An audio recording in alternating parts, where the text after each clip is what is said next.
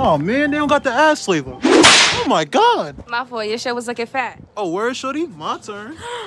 You're going to jail, bud. What? He tried to violate me. Bitch, what? All I did was. I'm pressing charges.